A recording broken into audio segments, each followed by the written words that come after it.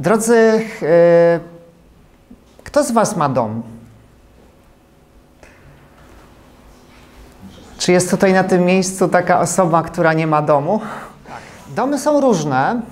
E, domy są różne. E, I teraz chciałbym, abyśmy mogli zobaczyć pierwszy, pierwsze ze zdjęć, które, e, które tak tutaj przygotowałem. No, dom może wyglądać na przykład tak, prawda? Widzimy, że to jest jakaś kamienica, która jeszcze została tak dodatkowo udekorowana przy pomocy oczywiście e, takiego, takiej roślinności, tak, a więc czegoś naturalnego, pięknego i ktoś sobie tutaj e, być może mieszka, być może ma jakieś takie, takie miejsce schronienia. Dom może wyglądać na przykład tak również. To jest jakieś osiedle, widzimy, E, na którym jest wiele mieszkań, tak? I tutaj wiele, wiele osób e, funkcjonuje, mieszka zapewne. Tutaj jakiś samochód też widzimy e, na dole, tak więc jest to miejsce, gdzie ktoś, gdzie mieszka wielu, wielu ludzi. A powiedzcie, co tutaj na tym zdjęciu widzicie? Tak, to jest opera w Sydney, tak? A więc, a więc możemy powiedzieć możemy powiedzieć, dom opery, tak? E, a więc miejsce takie kultury, w którym e, gromadzą się ludzie, też w określonym celu. Nie jest to e, budynek mieszkalny, ale to jest, to jest miejsce właśnie kultury, dom, dom opery, które, które też pełni pewną, pewną rolę prawda? Dla, w, życiu, w życiu wielu osób, które tam przebywają. A to Też dom, prawda? Też dom, ale już taki, można powiedzieć, e, delikatnie mówiąc, e, zniszczony, lekko przyniszczony, tak? E, być może jakaś powódź, być może tak, jakieś osuwisko tutaj miało miejsce, może ze starości też ten dom po prostu już się rozpada. I no, mm, ewidentnie przestaje być pomału miejscem takim, w którym można sobie bezpiecznie, bezpiecznie mm, zamieszkać, tak? bezpiecznie funkcjonować i żyć. E, zapytałem Was o to, czy macie e, dom, czy macie mieszkanie, dlatego że chciałbym, tak jak Sławek już tutaj um, zasugerował, chciałbym, abyśmy dzisiaj pomyśleli, e, zastanowili się wspólnie nad takim pytaniem, pytaniem, które też jest tematem dzisiejszego rozważania. I będziemy za chwilkę otwierać Biblię, patrzeć na losy bohaterów biblijnych. I w kontekście ich życia chciałbym, abyśmy zadali sobie wszyscy pytanie, każdy z nas, aby zadał sobie takie pytanie, mianowicie pytanie, gdzie jest Twój dom.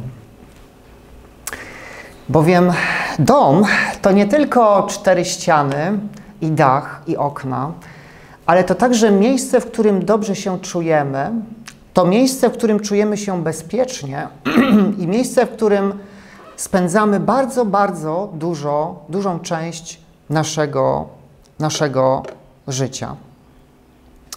E, Pamiętacie, jak Pan Jezus powiedział do pewnego człowieka, że Syn Człowieczy nie ma gdzie głowy skłonić, prawda?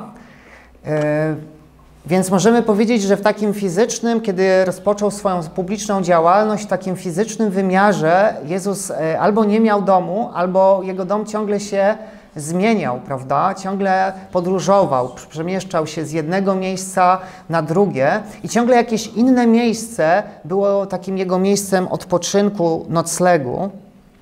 Yy, i e, było pewnym miejscem schronienia, na przykład dom Łazarza, e, Marii i Marty w Betanii, prawda? Był takim domem, jak to e, ktoś ładnie określił, do którego Jezus czasami przychodził i mówił, zróbcie mi tam coś do picia, tak? Na przykład, czy, czy bodajcie mi kubek wody, tak? Bo jestem spragniony. To był dom jego, to był dom jego przyjaciół. Dom, w którym czuł się dobrze. Ale Pytanie, czy jest jeszcze pon coś ponad to, ponad to, o czym y, mówimy, niż to, o czym mówimy jako o naszym fizycznym domu, miejscu, gdzie przebywamy, gdzie śpimy, jemy, gdzie y, no, spędzamy dużą część naszego, naszego życia. Otwórzmy pierwszą księgę Mojżeszową, Księgę Rodzaju, i tam rozdział szósty, którym mamy opisaną historię Noego. Historię człowieka, który e, miał bliski kontakt z Panem Bogiem, człowieka, który e, w pewnym momencie swojego życia usłyszał Boże wezwanie e, i miał dosyć istotną rolę, odegrał istotną rolę w historii zbawienia, no i na pewno bardzo ważną rolę w swoim, w swoim czasie.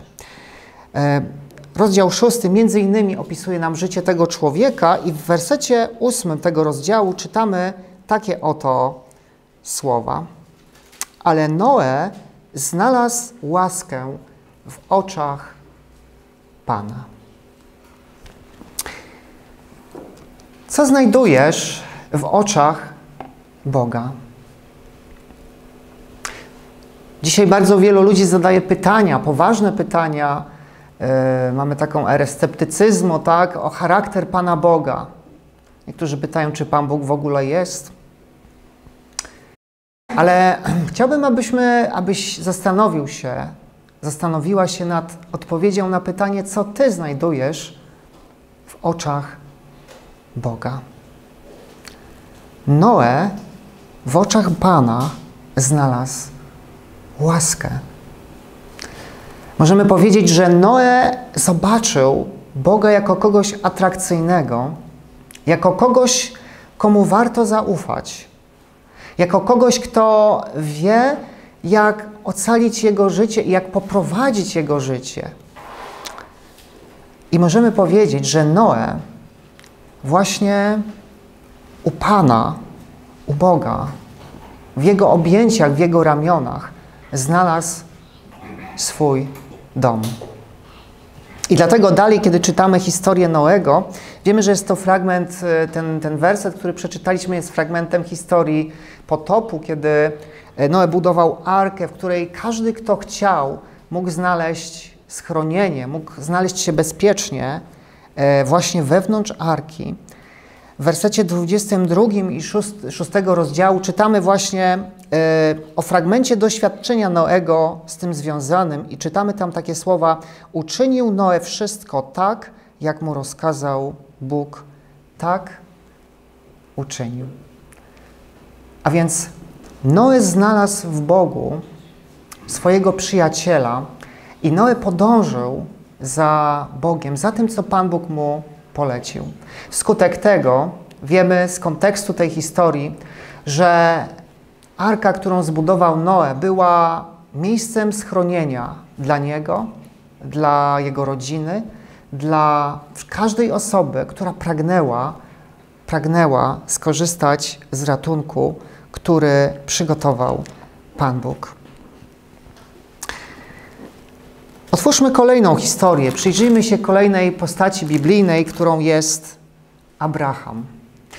Dwunasty rozdział Księgi Rodzaju i tam wersety od pierwszego po czwarty mówią nam o doświadczeniu e, właśnie e, Abrahama, wtedy jeszcze Abrama. I w tej historii, w tym, w tym doświadczeniu czytamy o tym, że rzekł Pan do Abrama, wyjdź z ziemi swojej i od rodziny swojej i z domu ojca swego do ziemi, którą Ci wskażę, a uczynię z Ciebie naród wielki i będę Ci błogosławił i uczynię sławnym imię Twoje, także staniesz się błogosławieństwem. I będę błogosławił błogosławiącym Tobie, a przeklinających Cię przeklinać będę. I będą w Tobie błogosławione wszystkie plemiona ziemi. Abram wybra wybrał się w drogę, jak mu rozkazał Pan, i poszedł z nim Lot. Abram miał 75 lat, gdy wyszedł z Haranu. Czytamy tutaj y, o patriarsze, o, o Abramie. Y, w, w, końcówce tych, tych zacytowanych słów z Księgi Rodzaju, że miał wtedy kiedy czytamy o nim właśnie w tych słowach 75 lat. Prawda? I dodatkowo jeszcze czytamy, że wyszedł skąd? Z Haranu, prawda? A więc, a więc y, miasta, a więc miejsca, możemy powiedzieć, na tamten czas y, dobrobytu, y, takiego wygodnego, dobrego, dobrego życia. A więc Abraham miał swój dom. Na pewno miał tam swój dom, dom rodzinny, dom, e, dom w, którym, w którym spędził sporą część swojego, swojego życia. Ale kiedy przemówił do niego Pan Bóg, kiedy Pan Bóg pokazał mu perspektywę, przedłożył mu perspektywę wędrówki razem z nim, wędrówki z Bogiem, Abram podjął bardzo ważną decyzję w swoim życiu. Mianowicie podjął taką decyzję, że odtąd, a może już wcześniej tak było, ale odtąd jeszcze bardziej niż może wcześniej w jego życiu, to Bóg będzie jego domem. I każde miejsce, które pośle go, właśnie jego Zbawiciel, jego Król, jego jego Pan. Czytamy o tym, że Abram wybrał się w drogę, jak mu rozkazał Pan. I wierzę, że moglibyśmy tutaj dodać słowa, bo wiedział, że to miejsce, które powołuje go Pan Bóg, jest najszczęśliwszym miejscem na ziemi mimo trudów wędrówki, mimo różnych niesprzyjających okoliczności, które na pewno były, mimo wyzwań, mimo pokus, trudności, było to najlepsze, najszczęśliwsze miejsce na ziemi. Faktycznie psalmista, kiedy otworzymy psalm 16, werset drugi, kieruje do nas takie wyzwa, wyznanie, które wierzę Y, jest y, wyznaniem każdego, kto y, mógł doświadczyć wspaniałości Boga i kto otworzył swoje serce na, na doświadczenie, na doświadczenie z Bogiem. W Psalmie 16, w wersecie drugim czytamy następujące słowa: Rzekłem do Pana, Tyś Panem moim, nie ma dla mnie dobra poza Tobą. nie ma dla mnie dobra poza moim Bogiem. Czyż nie jest to wspaniałe doświadczenie? Czyż nie jest to wspaniałe, wspaniała perspektywa, kiedy Pan Bóg staje na naszej drodze, objawia nam swoją wspaniałość, a następnie zaprasza do tego, aby mieć z Nim wspólnotę, mieć z Nim kontakt. I w tej wędrówce, w tej wędrówce zapewnia, że On będzie z nami na każdym etapie naszego doświadczenia. I On jest tą perłą, tą najważniejszą rzeczą w naszym życiu, jak mówi przypowieść, jedna z przypowieści. W Psalmie 84, w wersetach od 2 do 4, czytamy takie oto słowa. O jak miłe są przybytki Twoje, Panie zastępów. Dusza moja wzdycha i omdlewa z tęsknoty do przedsionków pańskich. Serce moje i ciało woła radośnie do Boga żywego. Nawet wróbel znalazł domek, a jaskółka gniazdo dla siebie, gdzie składa pisklęta swoje.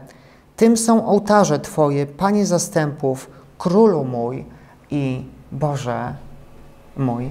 Tutaj psalmista nawiązuje do szczególnego miejsca, jakim była świątynia, gdzie w szczególny sposób objawiała się Boża chwała, Boża obecność. I mówi: O jak miłe są przybytki Twoje, Panie zastępów. Ale wiemy oczywiście, że Pan Bóg może być obecny na każdym miejscu, prawda? Kiedyś objawiał się w szczególny sposób w świątyni, tej ziemskiej świątyni. Dzisiaj wiemy, że Pan Jezus Chrystus jest gdzie?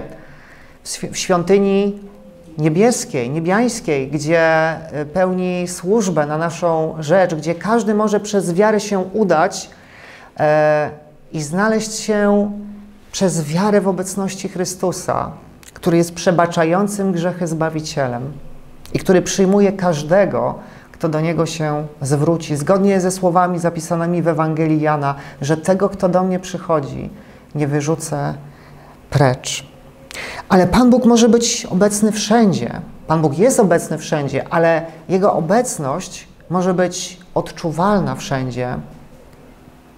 Wszędzie tam, gdzie są ludzie, którzy pragną właśnie Bożego prowadzenia, Bożej obecności, którzy przyjmują łaskę, która jest ofiarowana w Jezusie Chrystusie.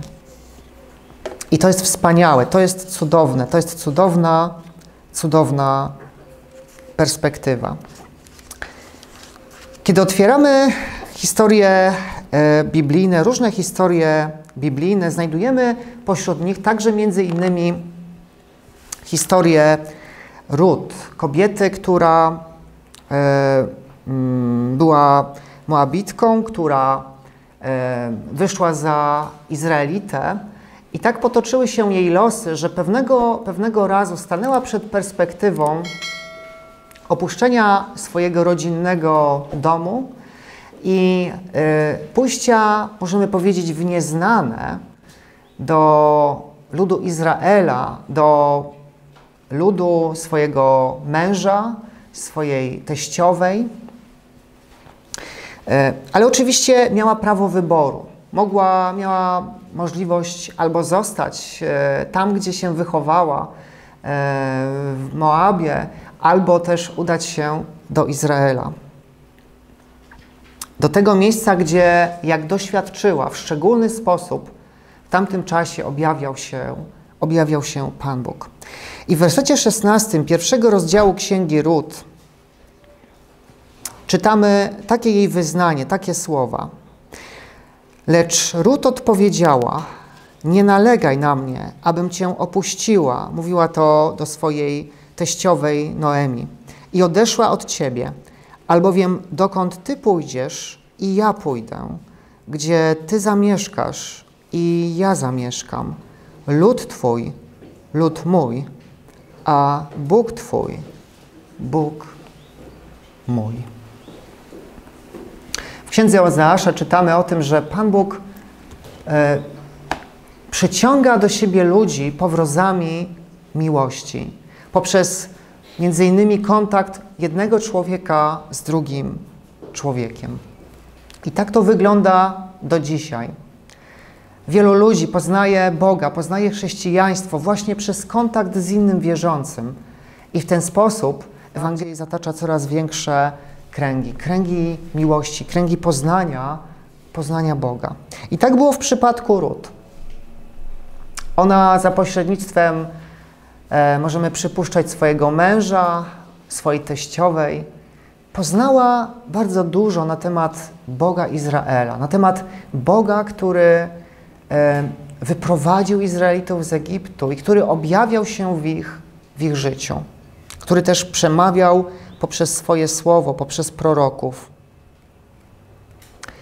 I kiedy Ród stanęła przed wyborem, przed decyzją e, pójścia w nieznane,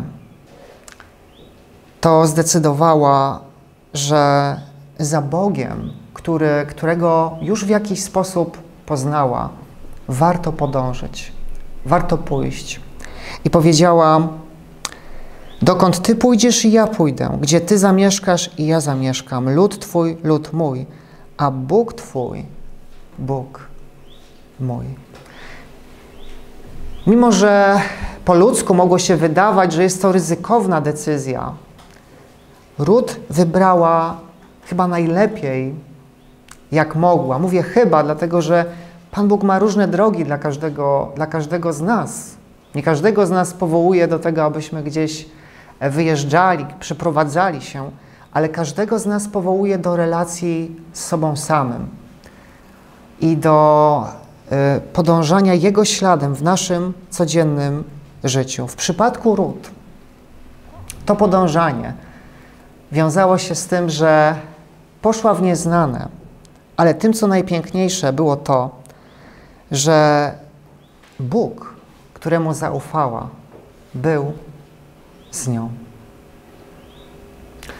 I kiedy czytamy dalszą, dalszy ciąg historii Księgi Rut, widzimy, jak Pan Bóg błogosławił ją, ją i prowadził e, w jej, w jej życiu.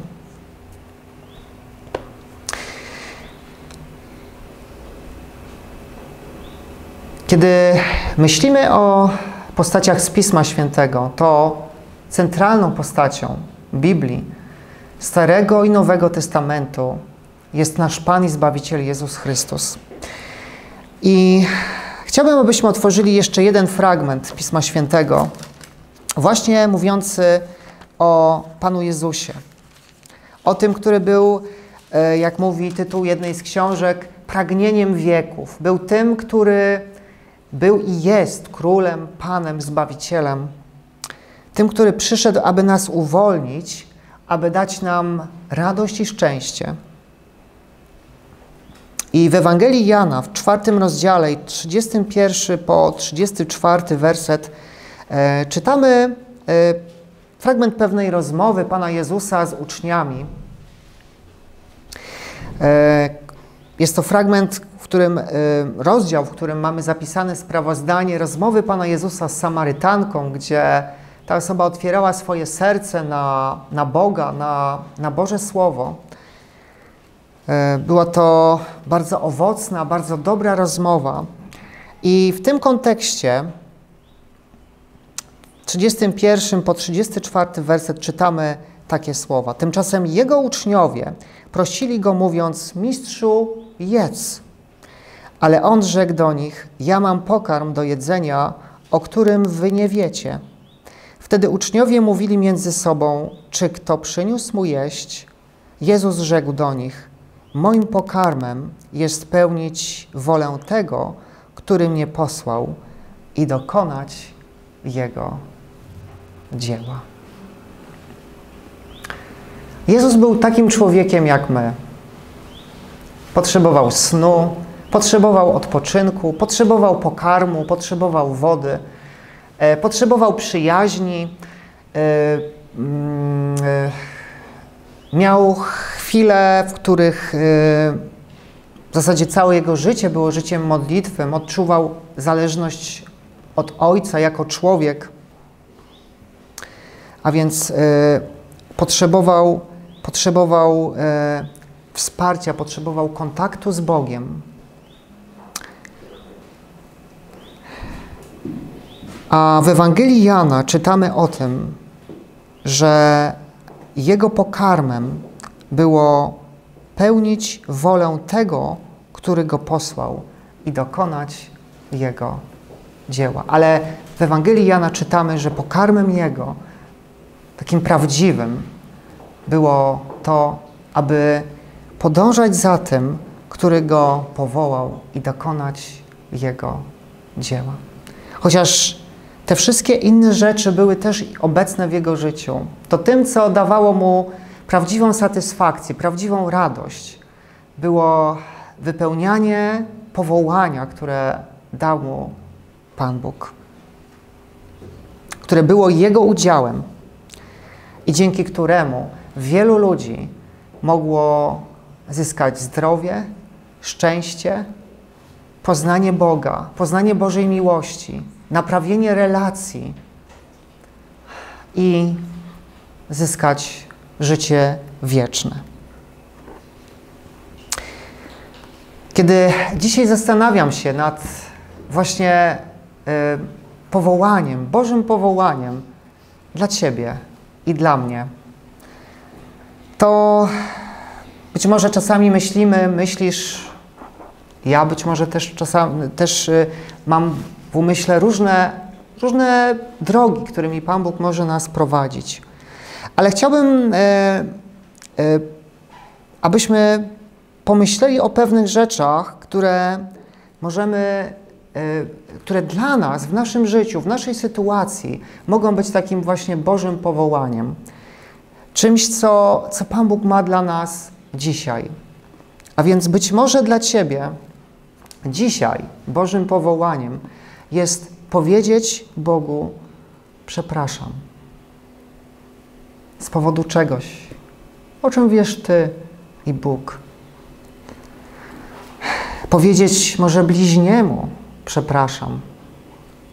Komuś, z kim relacje może nie do końca do tej pory się układały.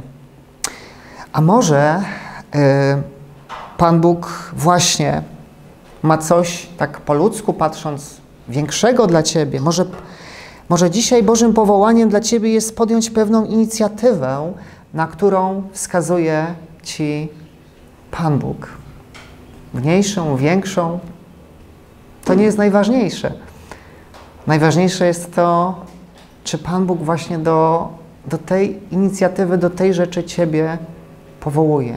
Jeśli tak, jeśli masz tę pewność w oparciu o Słowo Boże, w oparciu o modlitwę, w oparciu o to, że masz e, właśnie, spędzasz ten czas e, z Bogiem e, i masz, masz pewność, że to Bóg do ciebie przemawia, to idź tą drogą. Idź za tym powołaniem, które Pan Bóg ma dla ciebie. A może właśnie dzisiaj dla ciebie powołaniem, Bożym powołaniem jest po prostu spędzić więcej czasu z Jezusem, z Twoim przyjacielem, z tym, który powiedział, że On daje odpoczynek i On daje prawdziwą radość. On jest tym, który zna najgłębsze potrzeby Twojego serca i pragnie, abyś spędził z Nim więcej czasu. Odpowiedź na to pytanie, co jest Bożym powołaniem dla Ciebie, znasz Ty osobiście, ale warto, warto za tym powołaniem podążyć. Jest takie powiedzenie, e, gdzie skarb to Twój, tam serce Twoje. Pan Bóg dla każdego z nas ma takie miejsce, ma takie miejsce, które jest najszczęśliwszym miejscem na Ziemi. E, pokazywałem różne, różne domy na początku, a tak się składa, że to jest właśnie chwilowo mój dom. I w sensie, e, można powiedzieć, takim dosłownym, ale też w sensie metaforycznym, tak? Bo to jest e, to jest miejsce, w którym, w którym mieszkam, w którym też e, jako, jako ewangelista służę zborowi, który mieści się w tym budynku. E, a więc można powiedzieć, jest to taki dom fizyczny, ale też dom, który świadczy o miejscu służby, którą obecnie wykonuję e, na terenie Nowego Sącza, na terenie okolic również. Wierzę, że jest to miejsce, do którego Pan Bóg dzisiaj nie powołuje. I dzisiaj to jest, to jest moje najszczęśliwsze miejsce na Ziemi. Co będzie za rok, dwa, pięć, jeśli będziemy wszyscy na tej Ziemi, i ja również nie wiem, ale wiem, że dzisiaj e, to jest taki oczywiście symbol, tak, jeśli mówimy o kontekście służby, bo służba e, odbywa się w różnych miejscach, w, różnych, w różny sposób, ale to jest taki symbol właśnie tego domu, który Pan Bóg ma dzisiaj dla mnie. Ale Pan Bóg ma również taki dom, takie miejsce dla każdego, dla każdego z nas. Ale co więcej, Pan Bóg ma dla każdego z nas szczególne miejsce. Bo kiedy Mu zaufamy, kiedy będziemy chcieli być razem z Nim, to przecież wiemy, że nasze życie nie skończy się na tym, co tu i teraz. W Ewangelii Jana w 14 rozdziale, wersety od pierwszego po trzeci, czytamy takie oto słowa. Niechaj się nie trwoży serce wasze. Wierzcie w Boga i we mnie wierzcie. W domu Ojca mego wiele jest mieszkań. Gdyby było inaczej, byłbym wam powiedział: Idę przygotować wam miejsce, a jeśli pójdę i przygotuję wam miejsce, przyjdę znowu i wezmę was do siebie, abyście gdzie ja jestem i wy byli. Pan Jezus Chrystus ma dom w niebie dla każdego z nas. E, w drugim liście do Koryntian, w piątym rozdziale i tam w wersecie piątym czytamy również Boże zapewnienie, Bożą obietnicę. Wiemy bowiem, że jeśli ten namiot, który jest naszym ziemskim mieszkaniem, się rozpadnie, mamy budowlę od Boga, dom w niebie, nie rękoma zbudowany, wieczny. Ten dom w niebie jest tak wieczny i tak niezniszczalny, jak sam Bóg. Jest tylko jedno pytanie: czy chcesz być z Bogiem? Jeśli tak, to On ma szczególne miejsce przygotowane dla Ciebie. E, ma drogę życia dla Ciebie tu i teraz.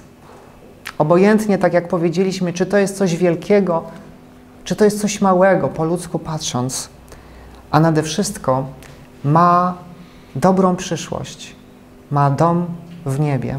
Dom, w którym nie będzie już ani smutku, ani cierpienia, ani łez, ale będzie wieczna radość i wieczne szczęście. Kiedy mówiliśmy o Noem, e, który budował arkę, to arka była takim symbolem tego, co Pan Jezus Chrystus ma dla każdego z nas. Bowiem, e, kiedy mówimy, mówiliśmy o tym, że ratunek, który znajdował się w arce, był dla każdego, to oznaczało to tyle, że niezależnie od historii życia, historii czyjegoś życia, każdy, kto znalazłby się w arce, byłby uratowany. Każdy, kto znalazłby się w arce, każdy, kto znalazł się w arce, był uratowany. Wystarczyło tylko zawierzyć, zaufać, przyjąć Boży ratunek. Dzisiaj wiemy, że tym ratunkiem, tym zbawieniem jest Pan i Zbawiciel Jezus Chrystus. Kto do Niego się uda, kto przyjmie Jego przebaczenie, Jego drogę, e, będzie ocalony. I patrząc właśnie w perspektywie przyszłości, tutaj mam jeszcze taki ostatni obraz. E, to jest taka wizja artystyczna Nowej Jerozolimy. Widzimy, że ona jest taka tutaj w chmurach, e, ale ten dom w niebie nie będzie domem złożonym z pary wodnej. Ten dom w niebie będzie realnym, rzeczywistym, fizycznym domem. Chociaż oczywiście w tej rzeczywistości, której my do końca tak nie znamy, ale ten dom, kiedy Biblia mówi o nowym niebie i nowej ziemi, będzie realnym, realnym miejscem, w którym będzie nasz Zbawiciel. I jeśli nasz ziemski namiot się rozpadnie, to mamy dom w niebie. Niechaj ta nadzieja, nadzieja tego przyszłego domu, ale także ta wspaniała perspektywa bycia z Jezusem już teraz na tej ziemi i podążania za tym, co On nam wskazuje, będzie w naszym życiu obecna. I dałby, dałby Pan, abyśmy e, żyjąc na tej ziemi jeszcze mogli znaleźć najwspanialszy dom w naszym Zbawicielu.